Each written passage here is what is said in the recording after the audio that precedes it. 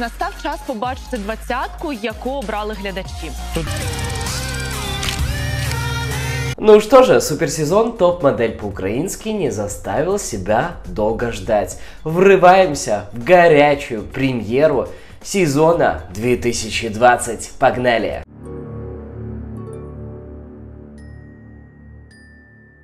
Ребятушки, привет! С вами несменно Беспалов Music, канал, на котором мы говорим 24 на 7 о музыке главных новостях из мира шоу-бизнеса, а также обсуждаем самые горячие эпизоды самых рейтинговых телешоу.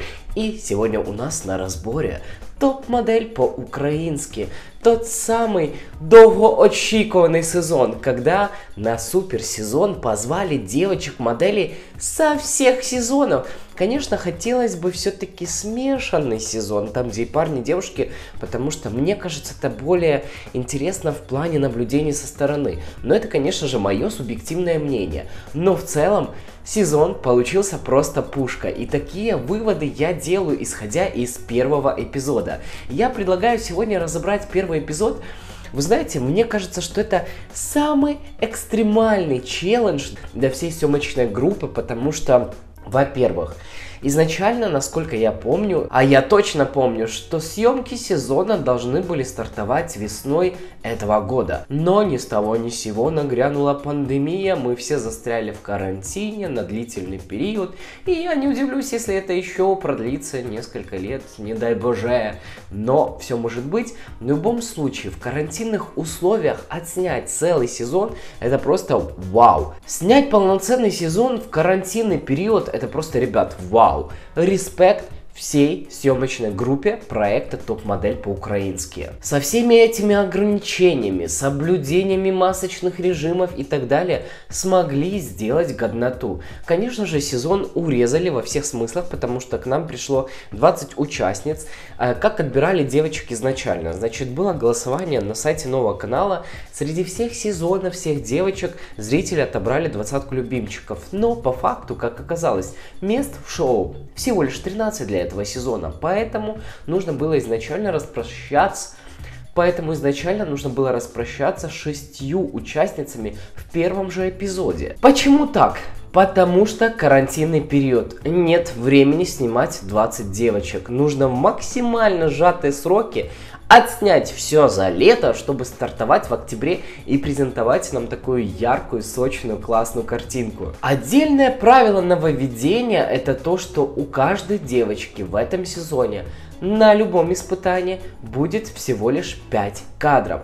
То есть нужно включиться и максимально постараться, чтобы из 5 кадров у тебя получилось как можно больше приличных снимков. Это тоже вынужденные карантинные меры, потому что растягивать, давать девочкам возможность въехать, ошибиться, продумать и т.д. и т.п. Это все очень тяжело, это занимает много времени а времени в обрез. А чё я болтаю? Давайте, собственно говоря, врываться в суперсезон и посмотрим, с чего все началось.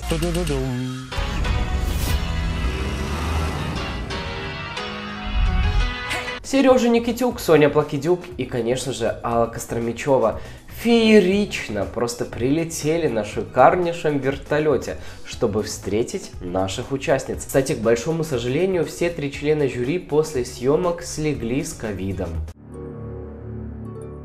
На подиум к нам стартовало три красотки. Таня Брык, Настя ХТЗ и Карина Данилова. Таня Брык просто без комментариев. Изменилась до неузнаваемости, отличная работа над собой, и я уверен, что она далеко пойдет. ХТЗ, конечно же, ну такой себе сюрприз. Члены жюри были ей не очень рады. Кто не знает и не смотрел сезон с ХТЗ, очень агрессивная, токсичная девушка. И как сказала Алла Костромичева, что ХТЗ это самая токсичная участница за 6 лет проекта Топ-модель. Карина Данилова тоже удивила, потому что за 6 лет отсутствия на телевизионных проектах успела стать мамой, дважды мамой. Далее у нас появилась Карина Минаева и Арина. Значит, Карина у нас трансгендерная девушка. Это самая первая девушка трансгендер на топ-модель по-украински. Она проделала колоссальнейший труд, выглядит потрясающе, сделала все операции, чувствует себя девушкой на все сто, как она утверждала.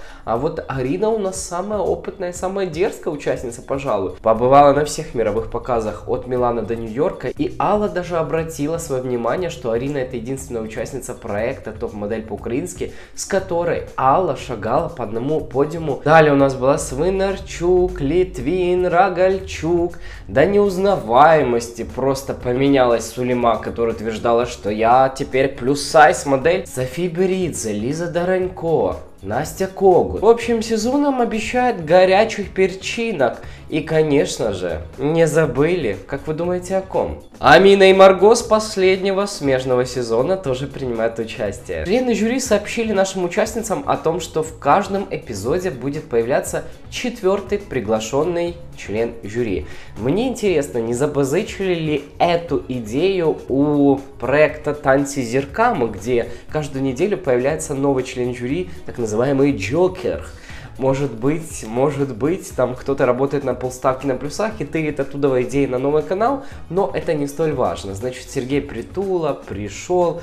Ой, господи, как же ж тебя человек много в рекламе как тебя много в Ютубе, как тебя много в Фейсбуке, хочется отдохнуть от притулы, включаешь тут топ-модель, и здесь тоже притула, да сколько ж можно, ты уже определись, политика, шоу-бизнес, хоть где-то будь, и не надо так агрессивно навязывать себя зрителю. Конечно, это мое субъективное мнение, но мне это показалось именно в таком свете. Значит, Притула расцвел, увидел много красивых девушек, глаза забегали как у мужика, а не как у члена жюри, на секундочку, что очень непрофессионально. С пылу жару испытания нужно пройтись по подиуму, сделать точку, под выступление очень популярного, в первую очередь модного электронного проекта Творчи. Все бы ничего, практически все девочки справились, ну как все, половина лажали, как будто не в первый раз вообще на подиуме, а вот вторая половина себя зарекомендовала очень и очень достойно. В проекте оказалось 14 участниц. Следующая неделя, вторая, будет еще более жаркой, более насыщенной. Испытания, в которых нужно расстаться со своими страхами.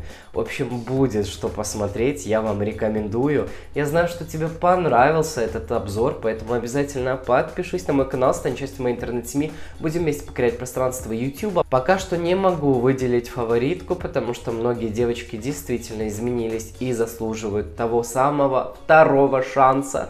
Давайте смотреть за дальнейшим развитием событий, но Когут прям действительно постарался в этом эпизоде, Литвин молодец. Да и в принципе Панова тоже хороша.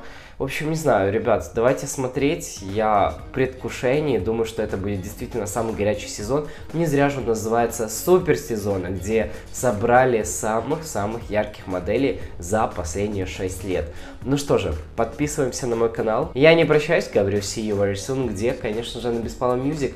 Береги себя и своих близких, не болей, к сожалению, пандемия никуда не делась.